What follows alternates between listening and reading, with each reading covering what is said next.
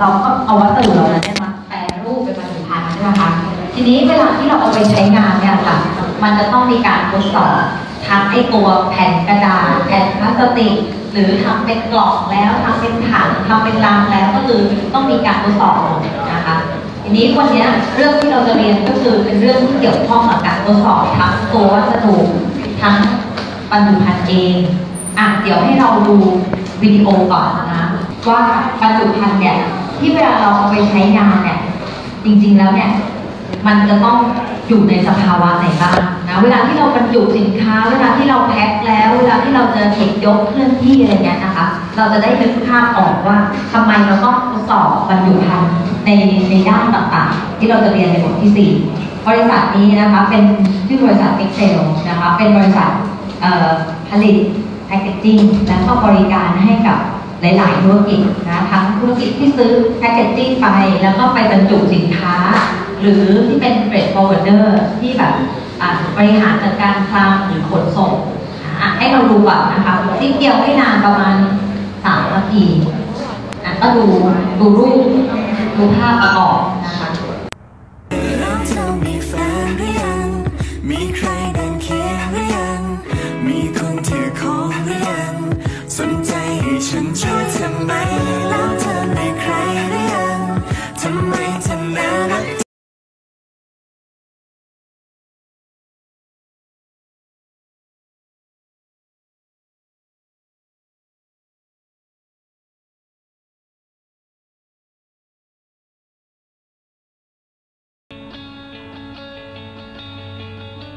Anywhere, anytime.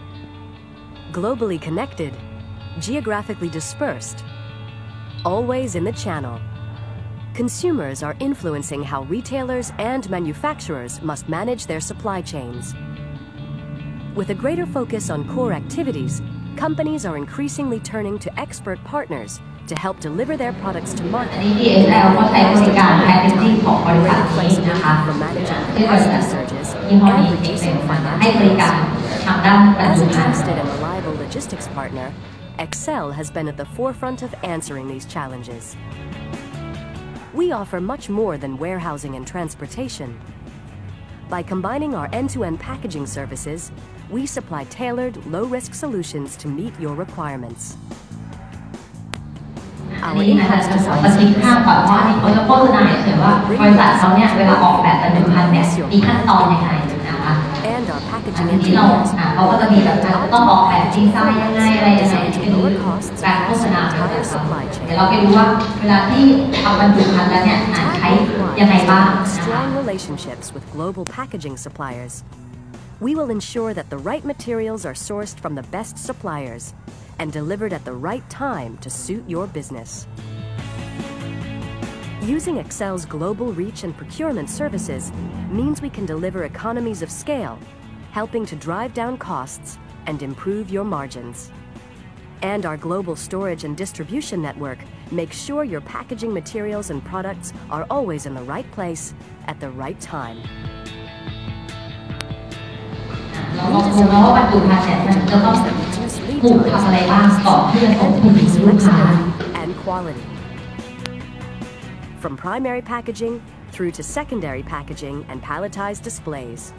And from mass customization through to local promotions, we manage your projects to deliver the best quality and price. Excel's disciplined approach to production is supported by a fully integrated IT platform, allowing you to gain real-time visibility of production and traceability of materials. Warehousing and distribution are at the heart of our solutions, providing the flexibility you need to deal effectively with peaks and troughs in demand. And by integrating packing operations into our distribution centers, we help reduce freight costs and improve turnaround times. Excel is a one-stop shop for packaging services that enables you to focus on your core manufacturing business. Our expertise brings visibility, speed, and the flexibility needed to manage seasonal spikes, new product launches, customer displays, and retail-ready packs. All while reducing your total supply chain costs and improving your sustainability credentials. Every day, all around the world, our dedicated people care for your business.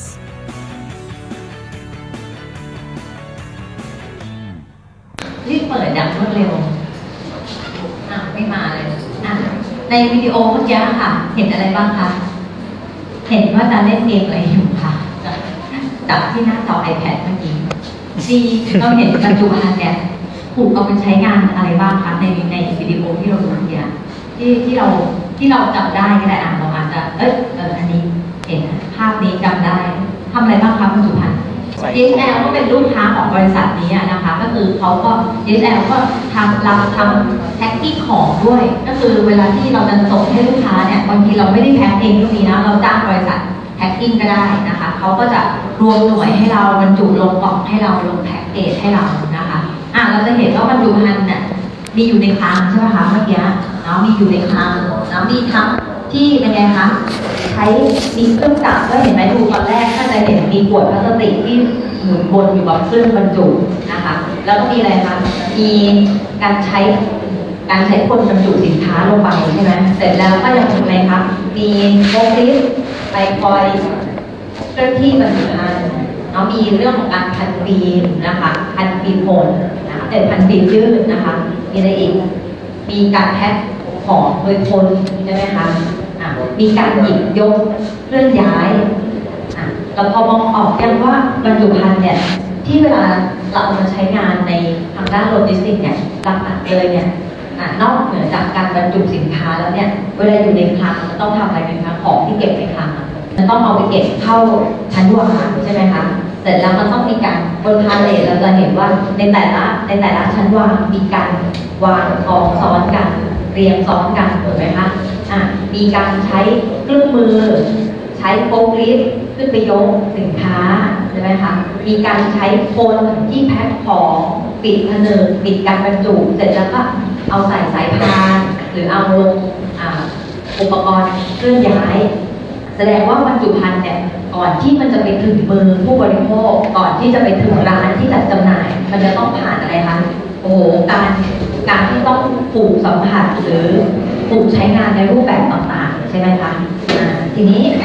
เนี่ยแหละค่ะเพื่อให้เราเนี่ยสามารถที่จะเลือกบรรจุภัณฑ์มาใช้งานให้เหมาะกับงานของเรา แล้วก็คุ้มครองสินค้าได้ด้วยนะคะ เราก็เลยต้องทำการทดสอบทั้งวัสดุวัสดุแล้วก็ตัวบรรจุภัณฑ์เองนะคะว่าเวลาที่ เลือกมาใช้งานแล้วเนี่ยมันให้ความคุ้มครองสินค้าได้ แล้วก็สามารถที่จะรองรับการทำงานในงานต่างๆของโลจิสติกส์ไม่ว่าจะการจัดเก็บสินค้านะคะการเคลื่อนย้ายการขนส่งเนาะรวมไปถึงเรื่องของการจำหน่ายสินค้าที่ร้านค้าปลีกด้วยนะเพราะฉะนั้นวันนี้เราก็จะเรียนเรื่องเกี่ยวกับการทดสอบตัววัสดุนะคะว่าต้องเทสเรื่องอะไรบ้างแล้วเวลาที่เอาไปทำเป็นบรรจุภัณฑ์ขาย ปลีกกับขนส่งอะแปลรูปเป็นบรรจุภัณฑ์เรียบร้อยแล้ววัสดุเรานั้น เราต้องตรวจสอบเรื่องอะไรนะคะแล้วก็สุดท้ายก็คือสินค้าอันตราย เราให้ความสำคัญกับการทดสอบเพื่อตรวจสอบหาสาเหตุอะไรที่เป็นข้อสำคัญสำหรับเรื่องของสินค้าอันตรายอะเราไปดูก่อนเรื่องของการทดสอบบรรจุภัณฑ์นะคะบรรจุภัณฑ์เนี่ยเราจะเห็นว่าอย่างในวิดีโอเมื่อกี้มีทั้งแบบที่ เป็นบรรจุภัณฑ์เปล่าใช่ไหมคะยังไม่ได้บรรจุสินค้า เวลาที่เขาทดสอบทดสอบครอบคลุมหมดเลย ตั้งแต่อะเวลาจะทำถุงพลาสติกนี่เป็นของประกอบฉากนะที่จะเอามานี่แหละอะเวลาที่เราจะทำถุงพลาสติกต้องทดสอบวัสดุก็คือไอตัวแผ่นพลาสติกเนี่ยทดสอบด้วย เวลาที่ขึ้นรูปไปเป็น ถุงนะคะ เป็นถุงกระดาษ เป็นถุงพลาสติกนะ ก็ทำการทดสอบเหมือนกัน แล้วก็ทดสอบทั้งเป็นแบบบรรจุภัณฑ์เปล่า ก็คือยังไม่ได้ใส่อะไร กับบรรจุภัณฑ์ที่บรรจุสินค้าแล้วนะคะ อันนี้ครอบคลุมหมดทุกอย่างนะการทดสอบจะมีสองเรื่องนะคะ ก็คือเรื่องของทางด้านฟังก์ชันกับกราฟิกนะ ในส่วนของโลจิสติกเนี่ยเราไม่ได้สนใจเรื่องของการประเมินเรื่องของกราฟิก เช่นเรื่องของ สีติดทนในการพิมพ์ไหมข้อความชัดไหมอะไรที่มันเป็นเรื่องของด้านความสวยงามของการพิมพ์ข้อมูลลงไปบนบนบรรจุภัณฑ์นั้น แต่เราจะสนใจว่าทำมาแล้วเนี่ยผลิตกล่องมานะคะกล่องแข็งแรงไหมเนาะบรรจุสินค้าได้ไหมนะคะ แล้วเวลาเคลื่อนย้ายไปเนี่ยอะมันทนไหมมันจะขาดง่ายไหมนะคะมันมีความแข็งแรงไหมนะคะเรื่องของหน้าที่นะประเมินหน้าที่ของบรรจุภัณฑ์นะเป็นหลักนะคะสำหรับโลจิสติกส์ บรรจุภัณฑ์โลจิสติกส์การทดสอบบรรจุภัณฑ์เนี่ยก็จะทำให้คนที่ใช้งานบรรจุภัณฑ์เนี่ยค่ะตัดสินใจได้ในเรื่องต่างๆ ตัดสินใจเรื่องอะไรได้บ้าง ตัดสินใจได้ว่าเราจะผลิตบรรจุภัณฑ์ทำมาจากวัสดุอะไรดีนะคะ รูปแบบแบบไหนดีนะคะ มันถึงจะสามารถที่จะรองรับสินค้าได้ แล้วก็เวลาใช้งานแล้วเนี่ยมันยังให้ความคุ้มครองสินค้านะคะรวมถึงเวลาที่ถ้าใช้งานไปแล้วนะ กรณีที่เป็นการใช้งานไม่ปกตินะเกิดทำบรรจุภัณฑ์ตกหล่นนะคะ เกิดอุบัติเหตุระหว่างการขนส่งหรือระหว่างการเคลื่อนย้าย สินค้าได้รับอันตรายไหมสินค้าที่บรรจุอยู่นั้นนะคะถ้าสินค้าที่บรรจุอยู่นั้นไม่เป็นไรก็แสดงว่าบรรจุภัณฑ์นั้นน่ะก็ยังมีความสามารถในการคุ้มครองอยู่ แต่ถ้าเกิดเสียหายอะก็ต้องมาดูแล้วว่ามันเสียความเสียหายที่เกิดขึ้นเนี่ยมันเป็นพว่าบรรจุภัณฑ์ที่เราเอามาใช้งานเนี่ยมัน ไม่มีประสิทธิภาพดีพอ มันบางไปหรือว่ามันไม่แข็งแรงนะคะถึงทำให้สินค้าเสียหาย หรือว่าอะมันมีความแข็งแรงแหละ แต่ว่าบังเอิญว่ามันอาจจะเป็นเหตุการณ์ที่โหรุนแรงมากเกิดอุบัติเหตุแรงเจอคลื่นพายุอาจจะขนส่งทางเรือนะคะหรือบางทีก็ไปเจออุบัติเหตุแบบตกทางถนนรถชนหรืออะไรเงี้ยอันนี้มันก็เป็นสิ่งที่เราไม่คาดคิดขึ้นมานะคะ ก็ใช้ประเมินและก็ตัดสินใจเนาะว่าเราจะเลือกบรรจุภัณฑ์เนี่ยให้มันคุ้มครองสินค้ารวมถึงเวลาที่ได้รับความเสียหายแล้วเนี่ยนะมันมีผลมาจากบรรจุภัณฑ์หรือว่ามันมีปัจจัยอื่น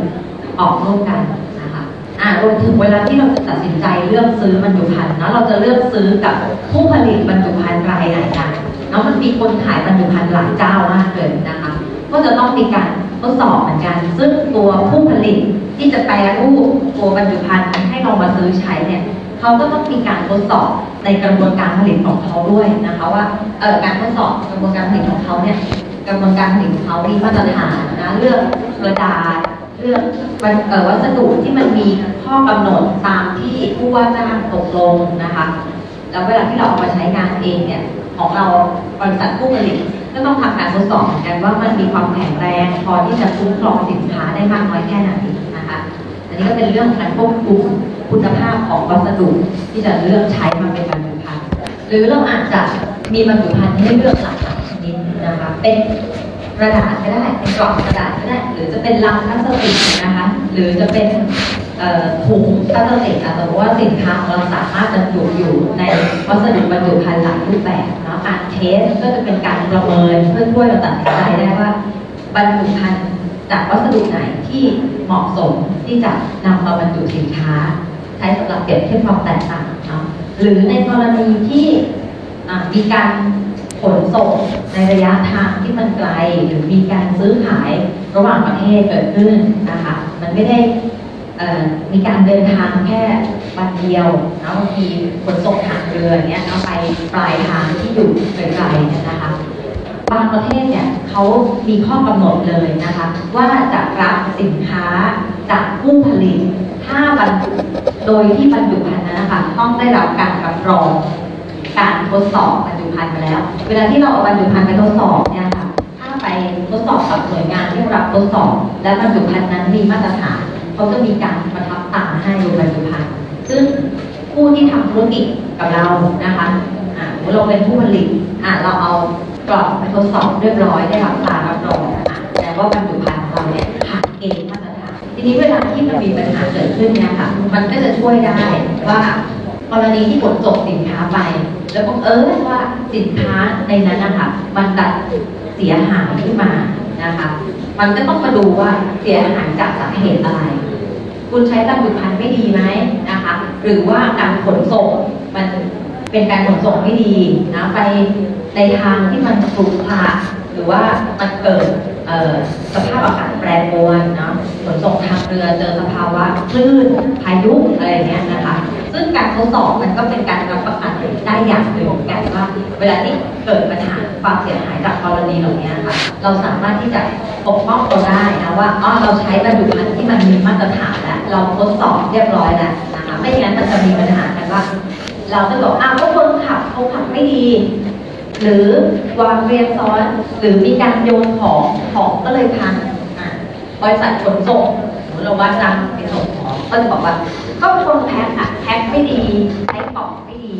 อะขอโทษกันไปมาใช่ไหมคะอะอย่างน้อยการรับรองมาตรฐานเนี่ยอย่างน้อยเราก็เป็นการเพิ่มความมั่นใจได้แล้วว่าของเราเนี่ยมี ความสามารถในการคุ้มครองสินค้าได้ในระดับหนึ่งนะผ่านการทดสอบมาแล้วนะคะทีนี้เวลาที่จะทดสอบบรรจุภัณฑ์เนี่ยค่ะเขาจะมีข้อกำหนดเนาะในการทดสอบข้อกำหนดเช่นกระดาษต้องมีความหนาเท่าไหร่เราเคยไปซื้อกระดาษใช่ไหมคะกระดาษเคยซื้อไหมเคยเห็นที่แพ็คมันไหมคะเขาจะพิมพ์ว่าเท่าไหร่ เท่าไหร่นี่ไม่ใช่ราคานะเขาจะมีการพิมพ์อยู่บนบนห่อกระดาษว่า 70 กรัม 80 กรัมใช่ไหมคะอะอันนั้นก็คือเป็นเรื่องของน้ำหนักนะคะฉะนั้นเวลาที่ทำการทดสอบอะค่ะ มันจะต้องมีข้อกำหนดเลยว่ากระดาษอะถ้าเราบอกว่า 80 กรัมเนี่ยมันมีน้ำหนักเท่าไหร่ในการระบุว่าอย่างเช่นพลาสติกที่เราเรียนไปอะค่ะแต่ละชนิดว่าอันนี้มันเป็นแบบชนิดความหนาแน่นสูง ความหนาแน่นต่ำ มันจะต้องมีปริมาณของพลาสติกอยู่เป็นจำนวนเท่าไหร่นะอันนี้ยก็คือหน่วยงานเหล่านี้ค่ะ มีหน้าที่ในการที่จะกำหนดว่าคุณสมบัติของวัสดุแต่ละชนิดเนี่ยต้องทดสอบเรื่องอะไร และต้องมีค่าเท่าไหร่ในการทดสอบนะคะซึ่งต่างประเทศก็บางประเทศเขาจะมีหน่วยงานอันนี้เป็นหน่วยงานที่จัดตั้งขึ้นโดยโดยภาครัฐแล้วนะ ฐบาลแล้วนะคะว่าอะให้เป็นหน่วยงานที่ปล่อยออกมาตรฐานเลยนะคะพลาสติกอะกำหนดปริมาณความหนาแน่นของพลาสติกแต่ละชนิดกระดาษกำหนดน้ำหนักกำหนดปริมาณความชื้นหรืออะไรก็ตามที่เกี่ยวข้องกับการทดสอบนะคะก็ถ้าเกิดสมมติว่าเราไปส่งสินค้าให้กับประเทศเหล่านี้บางทีบรรจุภัณฑ์ของเราเนี่ยอาจจะต้องทำการทดสอบให้ผ่านตามมาตรฐานแต่ละประเทศกำหนดด้วยนะคะ เนี่ยอย่างอเมริกาญี่ปุ่นฝรั่งเศสเขาจะมีการมาตรฐานที่เขากำหนดขึ้นมาเองนะคะซึ่งบางทีบรรจุภัณฑ์ของเราที่จะไปใช้ก็ต้องเข้ากับมาตรฐานของแต่ละประเทศอ่าที่เรามาให้ดูนะเพราะว่าอ่าแต่ละประเทศเนี่ยเขาก็มีหน่วยงานอะไรบ้างนะคะที่กำหนดมาตรฐานการทดสอบบรรจุภัณฑ์ทีนี้ถ้าเกิดสมมติว่าบางประเทศนะคะ ไม่มีไม่มีหน่วยงานที่อ่า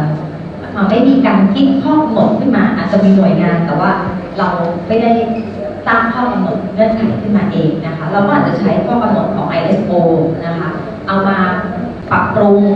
นิดนึงให้มันเข้ากับประเทศของตัวเองนะหรือมาตรฐานภายในประเทศของตัวเอง คือเวลาที่ใช้มาตรฐานของแต่ละประเทศนะคะเวลาที่เกิดการค้าระหว่างประเทศเกิดขึ้นเนี่ยบางทีแต่ละประเทศก็จะกำหนดข้อกำหนดที่มันไม่เหมือนกัน ไม่เหมือนกันมันก็มีความยุ่งยากเหมือนกันเวลาที่เราจะต้องเอาบรรจุภัณฑ์ของเราไปทดสอบเพื่อให้มันสามารถที่จะเข้ากับมาตรฐานของแต่ละประเทศอะเวลาเขาอยากจะลดความยุ่งยากเหล่านี้ลงในการค้าขายกันนะก็อ้างอิงเรื่องของมาตรฐาน ISO นะคะมันก็เป็นมาตรฐานที่แต่ละประเทศสามารถเอาไปปรับประยุกต์ใช้ได้นะคะนี้ถ้าเกิดสมมติว่าไม่ได้ถูกจัดตั้งโดยภาค องค์กรของภาครัฐ หรือตัวแทนของประเทศนั้นนะคะ ก็จะอาจจะเป็นสมาคมหรือองค์กรของผู้ผลิตนะอย่างเช่น สมาคมผู้ผลิตกล่องกระดาษรูปคู่นะมารวมตัวกัน แล้วก็กำหนดมาตรฐานในการทดสอบก็ได้เหมือนกันนะคะ ก็จะมีเนี่ยค่ะเป็นหลายชื่อมาให้ดูเนาะว่าถ้าเกิดสมมติว่าเราไม่ได้อ่านอย่างอเมริกาก็จะมีหน่วยงานของรัฐเมื่อกี้ใช่ไหมคะถ้าไม่ใช้อ่เขาก็จะมีที่นิวยอร์ก เดี๋ยวมีการตรงเลซี่แมคคานิคอลอินเนียก็เป็นหน่วยงานที่เราสามารถเอาไปทดสอบเอาบรรจุภัณฑ์เนี้ยนะคะ ไปทดสอบตามมาตรฐานตามเกณฑ์ของเขาก็ได้เหมือนกันที่นี้ของประเทศไทยอะประเทศไทยก็มีหน่วยงานของภาครัฐนะคะสังกัดกระทรวงอุตสาหกรรมชื่อสำนักงานมาตรฐานอุตสาหกรรมชื่อย่อก็คือสมอนะถ้าเราขึ้นทางด่วนเราจะเห็นป้ายเขียนว่าสมอสมอค่ะตรงแถวม หกอะเราขึ้นทางด่วนนะคะอะจะขึ้นเข้าไปในเมืองจากรังสิตเข้าไปในเมืองหรือประลงดินแดงเนี่ยนะมันก็จะมีผ่านหน่วยงานนี้แหละนะคะ เป็นหน่วยงานที่กำหนดมาตรฐานวัสดุบรรจุภัณฑ์ที่ใช้ในประเทศนะคะรวมถึงบรรจุภัณฑ์เนี่ยว่าจะต้องกำหนดเงื่อนไขอะไรบ้างในการทดสอบจะต้องทดสอบค่าอะไรบ้างนะคะ แต่ว่าหน่วยงานที่รับทดสอบ อันนี้เป็นแค่หน่วยงานที่กำหนดมาตรฐานนะคะ ว่าเช่นกระดาษต้องทำการทดสอบกี่ชนิดกี่รายการพลาสติกทดสอบอะไรโลหะทดสอบอะไร แต่ว่าหน่วยงานที่รับทดสอบ ก็คือศูนย์การบรรจุหีบห่อไทยอันนี้เป็นหน่วยงานที่ให้บริการทดสอบ ทั้งวัสดุบรรจุภัณฑ์นะคะรวมถึงตัวบรรจุภัณฑ์แต่ละชนิด ทดสอบทั้ง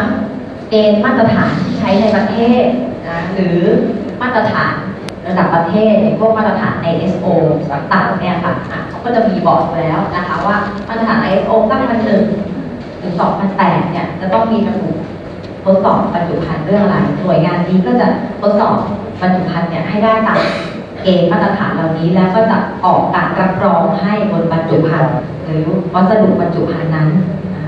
อะอันนี้ก็เป็นบริการของหน่วยงานนี้นะวัสดุบรรจุภัณฑ์ก็รับทดสอบทุกชนิดกระดาษนะพลาสติกโลหะนะคะมีบรรจุภัณฑ์ที่ทำเสร็จเรียบร้อยขึ้นรูปสำหรับการบรรจุสินค้า ทั้งเพื่อสำหรับการขายสำหรับการขนส่งนะคะทดสอบทั้งหมดนะคะรวมไปถึงบรรจุภัณฑ์สินค้าอันตรายอุปกรณ์ที่ใช้กับ บรรจุภัณฑ์อย่างเช่นบับเบิ้ลถุงลมอัดอากาศนะคะเวลาที่เราจะใช้อุดช่องว่างนะอันนี้ก็เป็นบริการของศูนย์การบรรจุหีบห่อไทยนะคะรับทดสอบวัสดุบรรจุภัณฑ์แล้วก็ส่วนประกอบที่เกี่ยวข้องกับบรรจุภัณฑ์อะทีนี้เรามาดูว่ากระดาษเนี่ยทดสอบอะไรบ้างโอ้โหต้องเยอะเลยนะ13ชนิดเลยนะที่จะต้องทดสอบนะคะ